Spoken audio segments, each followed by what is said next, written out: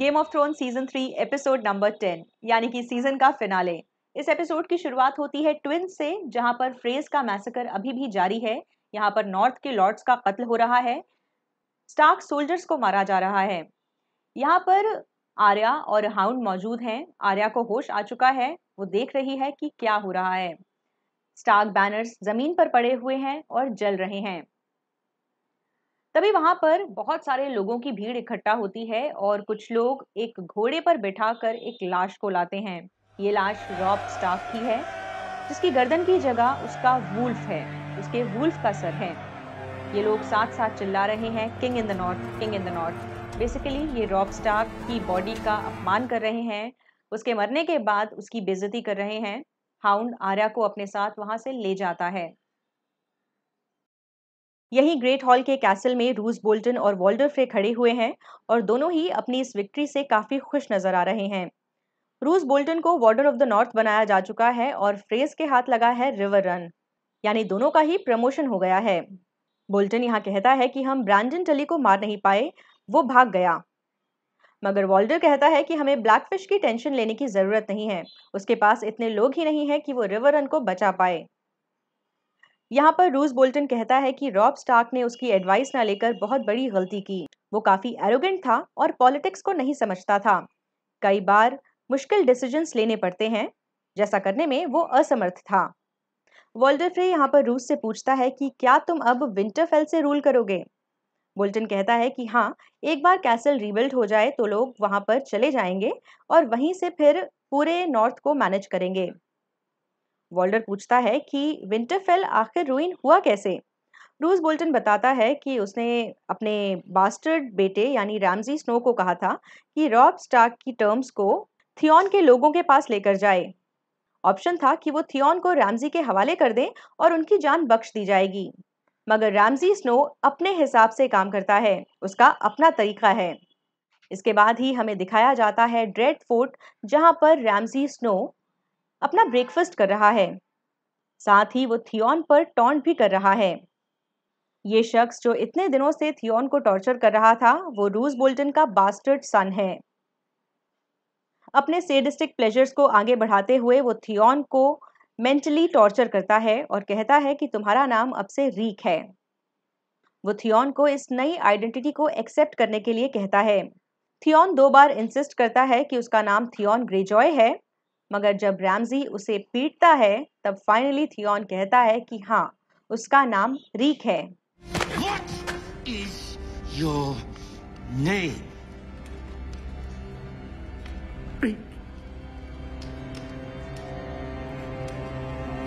My name.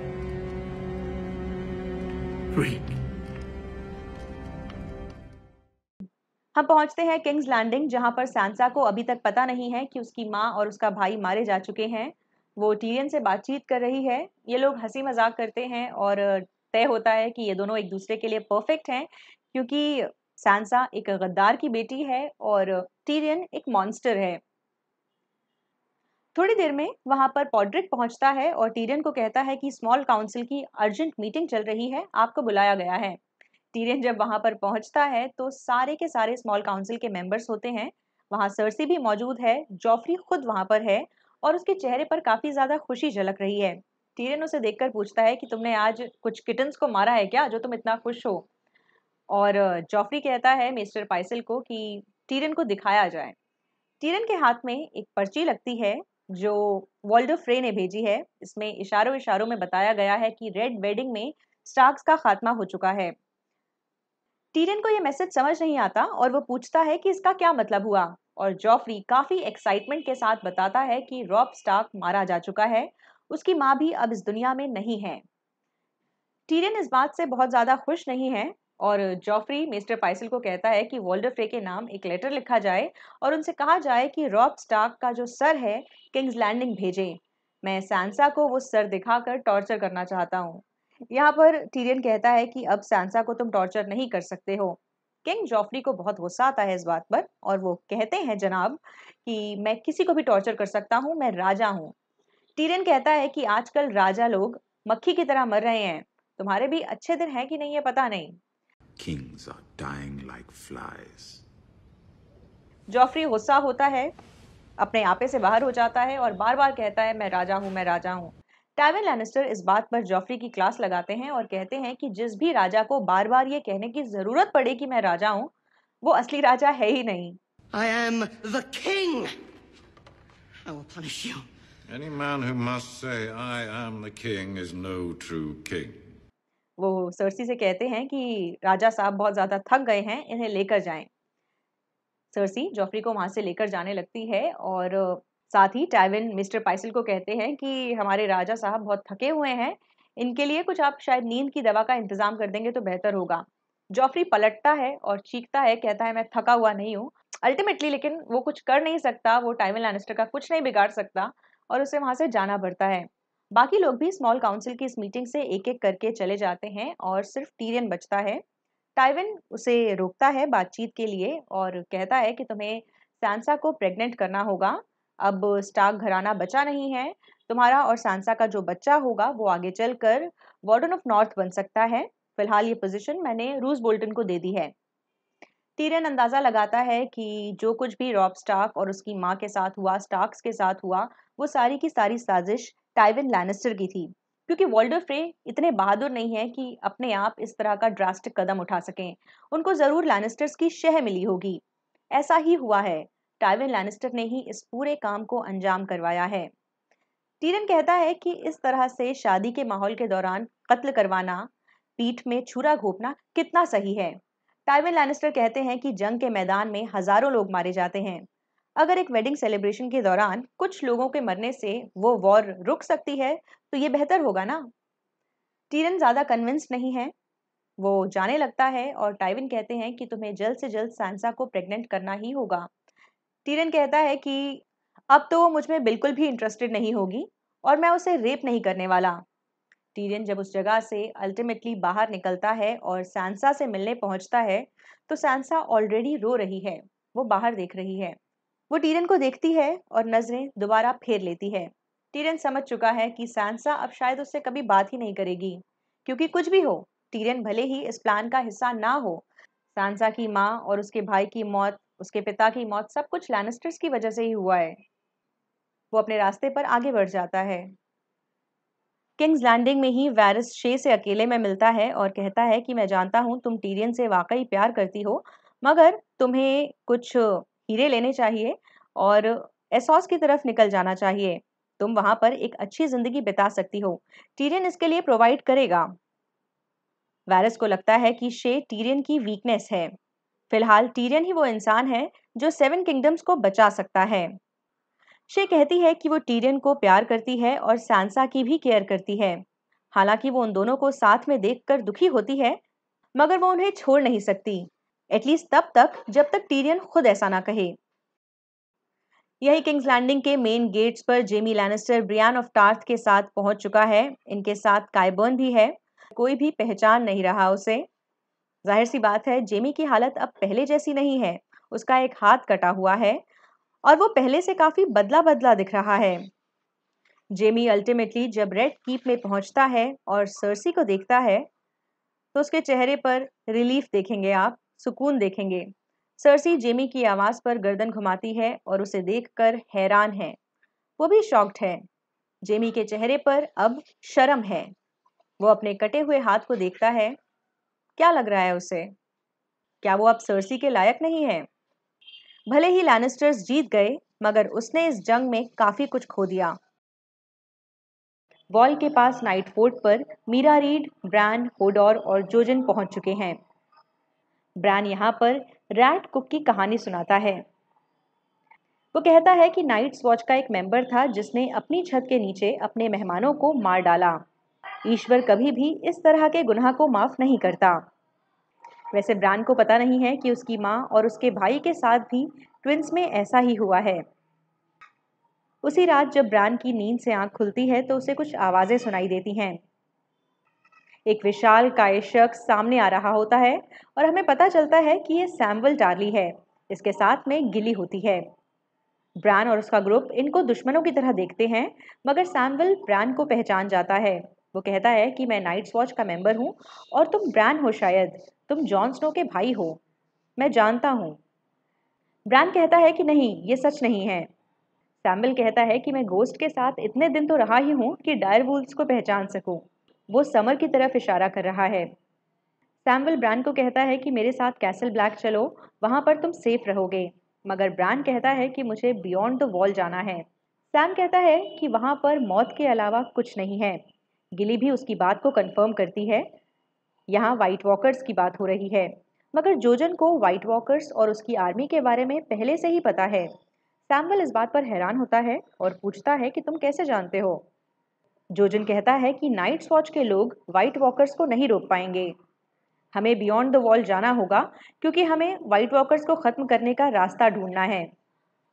Sample पहले तो इस बात के लिए तैयार नहीं होता, मगर ब्रांड सैम को कन्विंस कर लेता है। आखिरकार सैम कन्विंस हो जाता है और वो ब्रैन और उसके गुट को नाइट फोर्ट के एक छुपे हुए रास्ते से वॉल पार करवा देता है।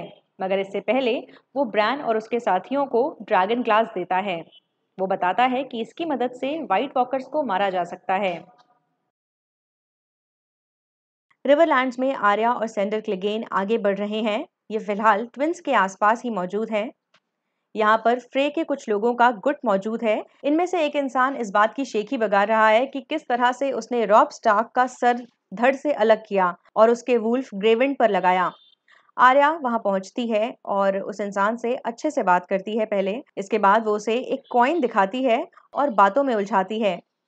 मौका देखते ही वो उस इंसान की गर्दन पर चाकू से वार करती है और मार डालती है। वहाँ और भी लोग मौजूद हैं। आर्या अकेली नहीं है। ये इंसान भी अकेला नहीं था। हाउंड मौके पर पहुँचता है और बाकी लोगों से आर्या को बचाता है। वो उसे पूछता है कि तुम्हारे पास ये चाकू कहाँ से आया? आर्या कहती है कि ये तुम्हारा चाकू है। हाउंड आर्या को कहता है कि अगली बार जब तुम ऐसा करने वाली होगी तो प्लीज़ मुझे पहले से बता देना। आर्या अपने क्वाइन को दोबारा हाथ में लेती है और जैकन हगार के शब्द दोहराती है। वलार मॉर्गुलस। यानी हर इंसान को मरना होगा। कैसल ब्लैक पर सैम और गिली पहुँच चुके हैं। वो यहाँ पर मिस्टर एमन से मिलते हैं। वो सैम से थोड़ा गुस्सा है, क्योंकि उनके हिसाब से सैमवल ने अपनी नाइट वॉच की कसम को गिली के साथ तोड़ दिया। सैम खुद को डिफेंड करता है और बताता है कि वो नाइट वॉच का हिस्सा अभी भी है। वो अपनी ओथ को दोहराता है। सैम कहता है कि उसने इस लड़की को और इसके बच्चे को बचाया है। नाइट वॉच और वॉल का मकसद वाइट वॉकर्स और वाइट से लोगों की सुरक्षा करना है। ऐसे में गिली की मदद करना सैम्बल का फ़र्ज़ था। मिस्टर एमन ये जानने के बाद कि गिली क्रास्टर की बीवी है, थोड़ा नर्म पड़ जाते हैं। वो कहते हैं कि यहाँ तुम्हारे खाने पीने और शेल्टर का इंतज़ाम कर दिया जाएगा। यहाँ सैम एमन को वाइट वॉकर्स और उनकी आर्मीज के बारे में बताता है।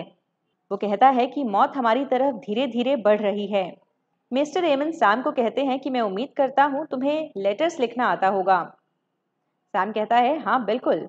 और फिर उससे 44 लेटर्स लिखवाए जाते हैं और कैसल ब्लैक के सारे के सारे रेवन्स को इन लेटर्स के साथ अलग अलग दिशाओं में भेज दिया जाता है। वेस्टरॉस के लॉर्ड्स और राजाओं को वाइट वॉकर्स के लिए वॉर्न किया जा रहा है।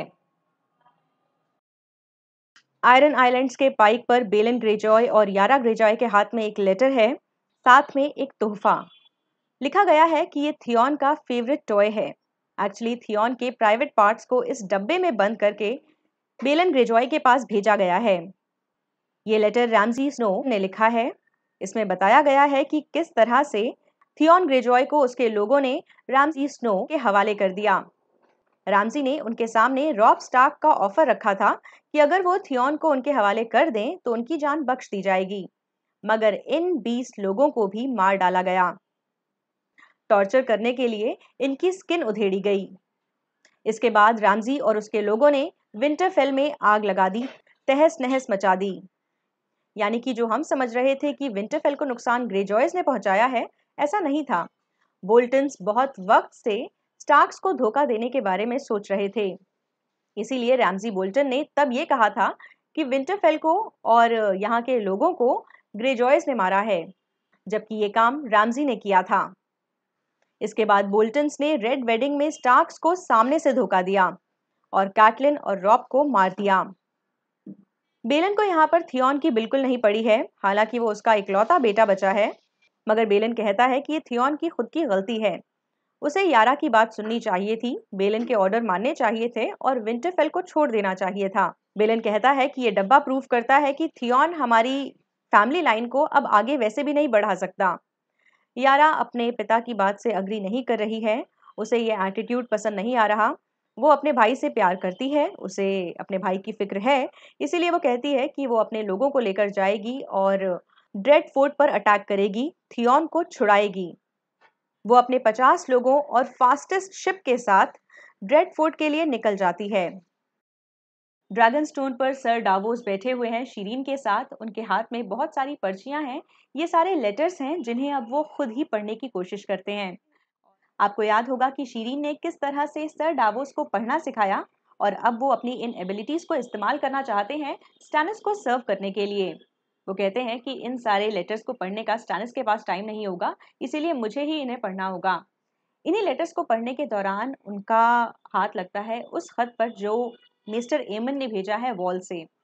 वो इस लेटर को लेकर स्टैनस के पास जाने के बारे में सोच ही रहे होते हैं कि तभी बेल्स की आवाज़ आने लगती है। शीरीन सर डाबोस के पास आती है और पूछती है कि बेल्स क्यों बज रही हैं? क्या हम पर अटैक होने वाला है? सर डाबोस शीरीन को वहाँ छोड़कर वहाँ से चले जाते हैं और जब वो स्टैनस के पास पहुँचते हैं तो दिखता है कि स्टैनस के हाथ में भी एक लेटर है। वहाँ पर मेलेसैंड्रे भी है और स्टैनस सर डावोस को बताते हैं कि रॉब स्टार्क मर चुका है। एक्चुअली स्टैनस को लग रहा है कि जो लीच आग में फेंकी गई थी पिछले एपिसोड में, उसकी वजह से ऐसा हुआ है।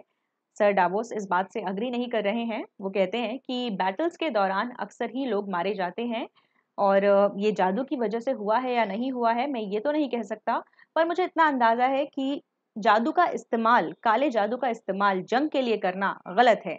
और आप ईवल नहीं हैं, आप एक बुरे इंसान नहीं हैं, इसीलिए आप फेयर तरीके से लड़िए और जादू को साइड रख दीजिए, उसको यूज़ मत करिए।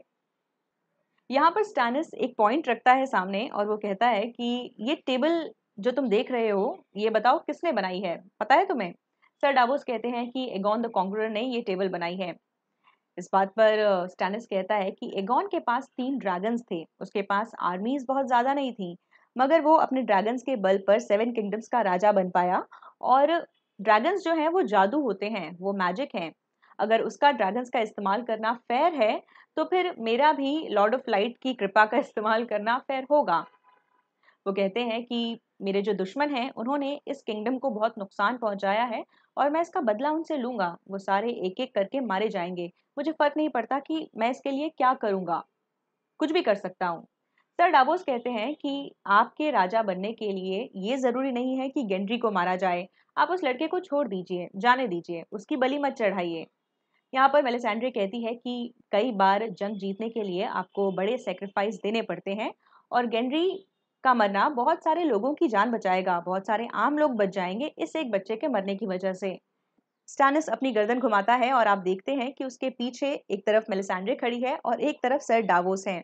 ऐसा लगता है कि एक तरफ़ डेविल है और एक तरफ़ एंजल है, जो स्टैनिस को कन्विंस करना चाहते हैं सही रास्ता चुनने के लिए। स्टैनिस ने मेलिसैंड्रे का साथ चुना है। आप सोच सकते हैं कि वो एंजल है या डेविल। वो कहता है कि एक लड़के के मरने से अगर बहुत सारी जिंदगियाँ बच सकती हैं तो उस लड़के की ज़िंदगी की कीमत क्या हुई? सर डाबोस कहते हैं कि उस लड़के की ज़िंदगी की कीमत अभी भी ज़्यादा है और हम ऐसा नहीं कर सकते, मगर स्टैनिस का डिसीज़न फाइनल है। इसके बाद आप देखेंगे कि सर डावोस डंजन्स में जाते हैं और गेंड्री को आज़ाद करवाते हैं। वो उसे एक बोट के पास लाते हैं और कहते हैं कि यहाँ पर बैठकर तुम्हें दो दिन का वक्त लगेगा, एक रात और एक दिन लगेगा और तुम पहुँच जाओगे सही ठिकाने पर। किंग्स लैंडिंग पहुँचना और वहाँ पर अपनी ज़िंदगी आराम से जीना। गोल्ड क्लोक्स तुम्हें ढूंढ नहीं पाएँगे। गेंड्री को अंदाज़ा है कि किंग्स लैंडिंग में लोग उसकी जान के दुश्मन हैं, मगर सर डावोस कहते हैं कि फ़िलहाल तुम्हारा मेलेसेंड्रे से बचना ज़्यादा ज़रूरी है। गोल्ड क्लोक्स तो मेरे पीछे भी बीस साल से पड़े हैं। अगर वो तुम्हारी शक्ल नहीं पहचानते तो तुम सेफ़ हो। आराम से जाके किंग्स लैंडिंग में रहो। वो पूछते हैं गेंड्री से कि क्या तुम्हें स्विम करना आता है? क्या तुम्हें बोट चलानी आती है? गेंड्री ये दोनों ही काम पहली बार कर रहा है। वो बोट पर बैठता है और अपने सफ़र के लिए रवाना हो जाता है। जब स्टैनिस को पता चलता है कि सर डावोस ने गेंड्री को आज़ाद करवा दिया तो वो उसे मौत की सज़ा सुनाते हैं। मगर डावोस कहते हैं कि क्योंकि आपने मुझे अभी तक अपना हैंड ऑफ़ द किंग बनाए रखा हुआ है, मुझे उस पोजीशन से नहीं हटाया है तो मैं एडवाइस करना चाहता हूँ कि आप मुझे मत मारिए। आपको मेरी ज़रूरत पड़ेगी जंग में। स्टैनिस कहता है कि क्या? क्या कह रहे हो तुम? और इस बात पर सर डावोस उसे वॉल से आया लेटर दिखाते हैं, जो मिस्टर रेमन ने भेजा था। इस लेटर में लिखा गया है कि beyond the wall White Walkers हैं, जो अब सेवन किंगडम्स की तरफ़ बढ़ रहे हैं। स्टैनिस को इस जंग को लड़ने के लिए सर डावोस की ज़रूरत पड़ेगी, उसे और आर्मीज चाहिए होंगी और लोगों का सपोर्ट चाहिए होगा। और मेलिसैंड्रे भी बेसिकली इस बात से अग्री कर रही है। वो इस लेटर को पढ़ती है और कहती है कि जो वॉर हो रही है फाइव किंग्स की, Joffrey, Stannis, Renly Robb Stark या फिर बेलन ग्रेजॉय के बीच जो भी जंग हो रही है, ये बेकार है। असली जंग बियॉन्ड द वॉल होनी है। वो अच्छाई और बुराई के बीच की जंग होगी और लॉर्ड ऑफ़ द लाइट को इसके लिए सर डावोस की ज़रूरत है। सर डावोस का इस जंग में रोल है, जो उन्हें निभाना होगा। उनका ज़िंदा रहना ज़रूरी है। इस बात पर स्टैनिस हंसता है और सर डावोस को देखकर कहता है कि, देखो, तुम्हारी ज़िंदगी लॉर्ड ऑफ़ लाइट ने बचाई, जिन्हें तुम पसंद नहीं करते, जिनसे तुम अग्री नहीं करते, और अब तुम भी उन्हीं के सोल्जर बन चुके हो, क्योंकि उन्होंने तुम्हारी जान बख्श दी है। वॉल के पास ही एक जगह पर जॉन स्नो घायल है और उसे यग्रिड पकड़ लेती है यहाँ पर। असल में वो जॉन स्नो का पीछा कर रही है, क्योंकि वो उसे मारना चाहती है। जॉन यग्रिड को कन्विंस करने की कोशिश करता है कहता है कि वो उसे आज भी प्यार करता है, मगर वो नाइट वॉच के लिए अपनी वफादारी को भूल नहीं सकता। ईग्रिड को जॉन के प्यार पर शायद भरोसा है, मगर वो फिर भी काफ़ी गुस्सा है। उसे लग रहा है कि जॉन ने उसे धोखा दिया। वो जॉन को तीन बार शूट करती है अपने एरो से। जॉन खुद को बचाते हुए एक घोड़े पर सवार होता है और उसकी आँखों के सामने से ओझल हो जाता है। इग्रिड की आँखों में आँसू हैं। जॉन बेहद घायल हालत में वॉल पहुँचता है। उसके घोड़े ने उसे कैसल ब्लैक तक पहुँचा दिया है। वहाँ पर पिप और सैम्वल होते हैं। पिप कहता है कि जॉन को कुछ दिख नहीं रहा, मगर जॉन पिप और सैम्वल का नाम लेता है। जॉन के दोस्त उसे सही सलामत देखकर काफ़ी खुश हैं। लास्ट सीन में हम पहुँचते हैं नैरोसी के पार। यहाँ युंकाई के बाहर डिनेरियस खड़ी है। वो वेट कर रही है स्लेव्स के बाहर आने का। वो युंकाई पर राज नहीं करना चाहती वो बस स्लेव्स को छुड़ाना चाहती थी। बाहर ये लोग खड़े होकर वेट कर रहे हैं और अल्टीमेटली दरवाज़ा खुलता है और उस दरवाजे से बहुत सारे स्लेव्स बाहर आने लगते हैं। इसमें बच्चे बूढ़े जवान हर तरह के लोग हैं। ये लोग डिनेरियस के बहुत पास तक आ जाते हैं और अनसलिड इशारा करते हैं कि नहीं और आगे नहीं आ सकते हो।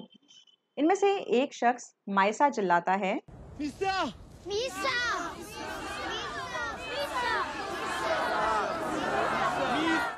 मिसेंडी बताती है कि ये ओल्ड घिस्कारी भाषा है और इसका मतलब होता है मदर। ये सारे के सारे स्लेव्स जो डिनेरियस ने आज़ाद करवाए हैं, वो उसे अपनी माँ कह रहे हैं। डैनी को रियलाइज़ होता है कि वो इनके बीच सेफ़ रहेगी। वो इसे कभी नुकसान नहीं पहुँचाएँगे। वो अपनी जगह से उतरती है। वो खुद को क्वीन नहीं मान रही। वो इन लोगों के बीच जाती है।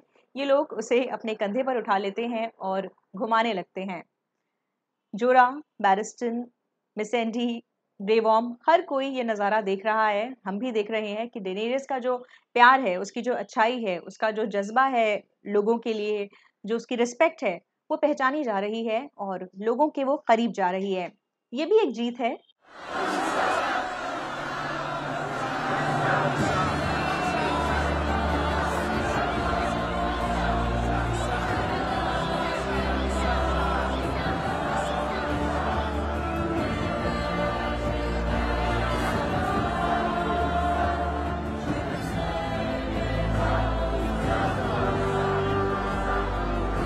देखते हैं कि अगले सीज़न में डिनेरियस कहाँ पहुँचती है और बाकी लोगों का क्या होता है। आर्या कहाँ जाएगी अब? देखते हैं। आप देखते रहिए वॉच रोज अपना ख्याल रखिएगा। बाय एक मिनट। अभी कहीं जाना नहीं है। इस चैनल का अपना एक फेसबुक पेज भी है ट्विटर पेज भी है। आप चाहें तो वहाँ पे हमें फॉलो कर सकते हैं। मैं कुछ वॉलपेपर्स बनाती हूँ जो इंस्टाग्राम और सोशल मीडिया के अपने अकाउंट्स पर शेयर करती हूँ। अगर आपको पसंद आए तो आप अपने दोस्तों के साथ शेयर कर सकते हैं। टड़ा